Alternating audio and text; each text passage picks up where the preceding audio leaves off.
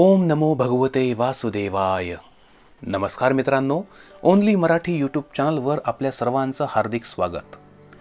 मित्रांनो सात ऑगस्ट शनिवार तसेच आठ ऑगस्ट रविवार या दोन्ही दिवशी आषाढ अमावस्या आहे.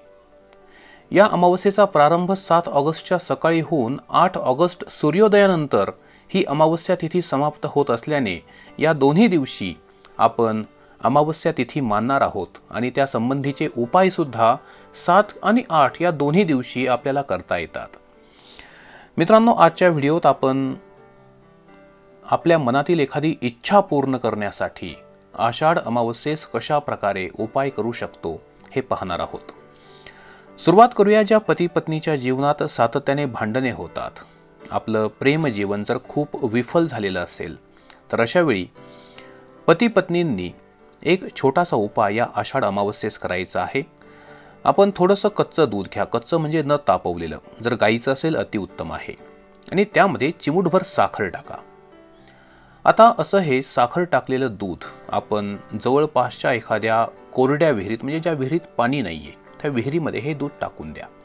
जर अशा प्रकारची कोरडी विहीर नसेल तर ज्या विहिरीत पाणी आहे अशा विहिरीत टाकलं तरीही चालेल. आणि जर विहीरच नसेल आसपास तर आपल्या घराच्या बाहेर कुठेही एक छोटासा खड्डा खणून त्यामध्ये हे दूध आपण टाकून द्या आणि वरून थोडीशी माती टाकायला मात्र विसरू नका.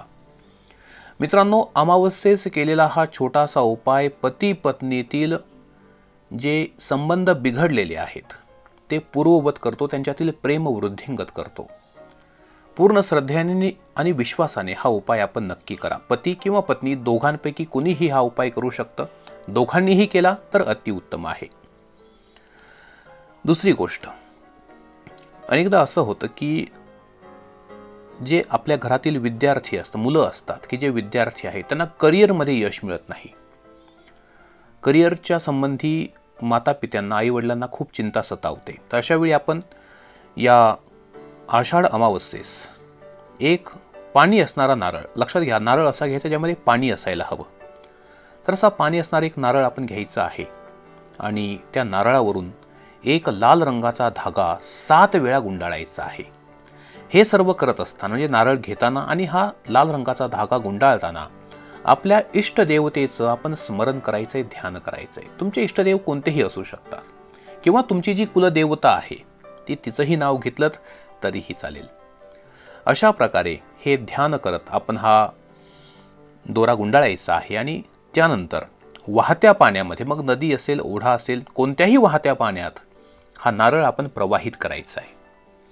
मित्रांनो विद्यार्थी वर्गाचे आता विद्यार्थीसुद्धा हा उपाय करू शकतात किंवा त्याचे जे पालक आहेत आईवडील वगैरे असतील ते सुद्धा हा उपाय करू शकतात आपल्या मुलांसाठी.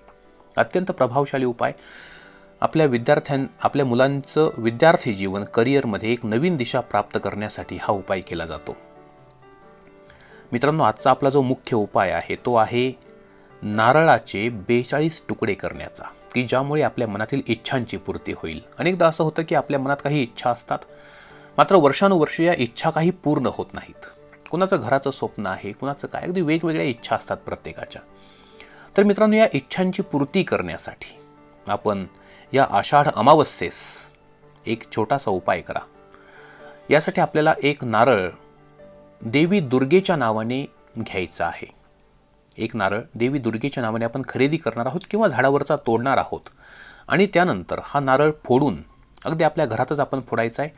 त्याच्या आतमध्ये जे खोबरं असणार आहे त्या खोबऱ्याचे आपण बेचाळीस तुकडे करायचे आहेत. बेचाळीस तुकडे आपण करायचे आहेत. आणि या बेचाळीस तुकड्यांपैकी तीन तुकडे भगवान शिवशंकरांच्या मंदिरात आपण चढवायचे आहेत. ओम नमः शिवाय ओम नमः शिवाय असा मंत्र जप करत शिवशंकरांच्या मंदिरात हे तीन तुकडे अर्पण करा. त्यानंतर नऊ जे तुकडे आहेत हे नऊ तुकडे आपण ज्या कन्या असतात म्हणजेच साधारण नऊ ते दहा वर्षाच्या आतील ज्या मुली आहेत अशा मुलींना आपण हे नऊ तुकडे त्यांना द्यायचे आहेत वाटायचे आहेत. दोन तुकडे ज्याला आपण दर्जी असतो म्हणजे जो जो कपडे शिवण्याचं काम करतो जो टेलर असतो शिंपी असतो तर त्याला आपण दोन तुकडे द्यायचे आहेत प्रसाद स्वरूपात. दोन तुकडे कोणत्याही माळ्यास माळी की जो भाजीपाला वगैरे हे करतो त्या माळ्यास दोन तुकडे कुंभारास द्यायचे आहेत प्रसाद स्वरूपात. आणि चार तुकडे हे स्वतःजवळ ठेवून उर्वरित सर्व तुकडे हे आपण देवीच्या किंवा कोणत्याही मंदिरामध्ये लक्षात घ्या देवीच्याच अर्पण करायचं नाही कोणत्याही मंदिरात ते प्रसाद स्वरूपात आपण वाटायचे आहेत. लक्षात ठेवा. एकदा तुम्ही ते मंदिरामध्ये ठेवू शकता कोणत्याही देवी देवतेच्या चरणी किंवा त्या मंदिराशेजारी प्रसाद म्हणून आपण येणाऱ्या भाविकांना ते वाटू शकता. मंदिराच्या आसपासच्या लोकांना ते वाटू शकता. मित्रांनो हे सगळं केल्यानंतर आपल्या देवघरासमोर बसून आपल्या इष्टदेवतेचं आपल्या कुलदेवतेचं ध्यान करत आपण प्रार्थना करायची आहे आपल्या इच्छेची पूर्ती व्हावी यासाठी.